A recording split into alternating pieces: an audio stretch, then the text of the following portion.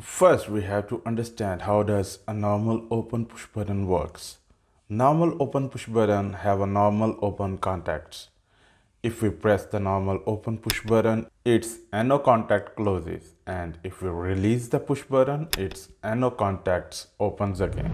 Now let's understand the normal open push button more with an example by putting normal open push button in series with bulb and a power source. Here, if we keep press the push button, it will close the NO contacts and current path completes and current starts to flow through the circuit and the bulb turns on. If we release the push button, it will open up again the NO contacts and current path breaks and current stops to flow through the circuit and bulb turns off. Now let's see how does a normal closed push button works. It's exactly opposite to the normal open push button. The normal closed push button have NC or normal close contacts.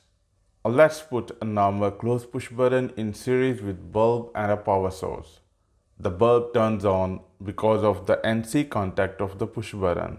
If we keep press the push button, the bulb turns off as the NC contact of the push button opens and cuts the path of the current to flow.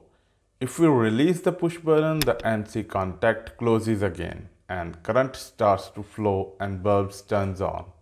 So basically normal open and normal close push buttons works exactly the opposite way.